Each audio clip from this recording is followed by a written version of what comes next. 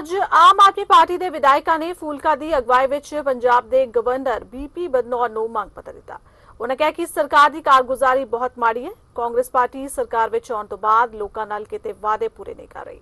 ਉਹਨਾਂ ਕਿਹਾ ਕਿ ਸਰਕਾਰ ਨੇ ਕਈ ਅਹਿਮ ਮੁੱਦਿਆਂ ਤੇ ਬਹਿਸ ਨਹੀਂ ਕਰਾਈ। ਫੂਲਕਾ ਨੇ ਕਿਹਾ ਕਿ ਕਿਸਾਨ ਕਰਜ਼ਾ ਮਾਫੀ ਦਾ ਮੁੱਦਾ ਅਜੇ ਤੱਕ ਹੱਲ ਨਹੀਂ ਹੋਇਆ। ਪੰਜਾਬ ਦੇ ਕਿਸਾਨ ਤਰਾ-ਤਰਾ ਕਰ ਰਹੇ ਨੇ। ਕਿਸਾਨਾਂ ਨੂੰ ਆਰਥਿਕ ਸੰਕਟ ਕਰਕੇ ਲਗਾਤਾਰ ਖੁਦਕੁਸ਼ੀਆਂ ਦਾ ਸਾਹਮਣਾ ਕਰਨਾ ਪੈ ਰਿਹਾ ਹੈ।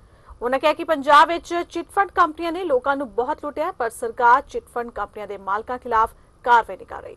ਫੂਲਕਾ ਨੇ ਕਿਹਾ ਕਿ ਕਾਂਗਰਸ ਸਰਕਾਰ ਬਣਨ ਤੋਂ ਬਾਅਦ ਸੂਬੇ ਦੀ ਕਾਨੂੰਨ ਵਿਵਸਥਾ ਬੇहद ਵਿਗੜੀ ਹੈ। ਸਰਕਾਰ ਦਾ ਕਾਨੂੰਨ ਵਿਵਸਥਾ ਵੱਲ ਕੋਈ ਧਿਆਨ ਨਹੀਂ ਹੈ। ਉਹਨਾਂ ਗਵਰਨਰ ਨੂੰ ਦਖਲ ਦੇਣ ਦੀ ਮੰਗ ਕੀਤੀ।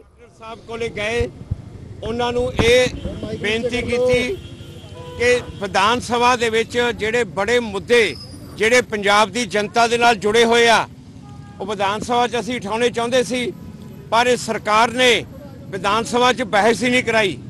ਇੱਥੋਂ ਤੱਕ ਕਿ ਗਵਰਨਰ ਸਾਹਿਬ ਨੇ ਜਦੋਂ ਆਪਣਾ ਭਾਸ਼ਣ ਦਿੱਤਾ, ਉਹਦੇ ਵਾਸਤੇ ਥੈਂਕਸ ਵੀ ਨਹੀਂ ਕੀਤਾ ਕਿਉਂਕਿ ਪਹਿਲੀ ਵਾਰੀ ਮੇਰੇ ਖਿਆਲ ਹੋਇਆ ਹੋਊਗਾ ਕਿ ਸੈਸ਼ਨ ਇਹਨਾਂ ਨੇ ਖਤਮ ਕਰ ਦਿੱਤਾ, ਪ੍ਰੋਰੋਗੂ ਕਰਤਾ ਤੇ ਗਵਰਨਰ ਸਾਹਿਬ ਦਾ ਥੈਂਕਸ ਵੀ ਨਹੀਂ ਕੀਤਾ ਕਿ ਅਸੀਂ ਹੁਣ ਗਵਰਨਰ ਸਾਹਿਬ ਕੋਲੇ ਆਏ ਕਿ ਉਹਨਾਂ ਮੁੱਦਿਆਂ ਦੇ ਵਿੱਚ ਤੁਸੀਂ ਇੰਟਰਫੇਅਰ ਕਰੋ, ਤੁਸੀਂ ਵਿੱਚ ਦਖਲ ਦਿਓ।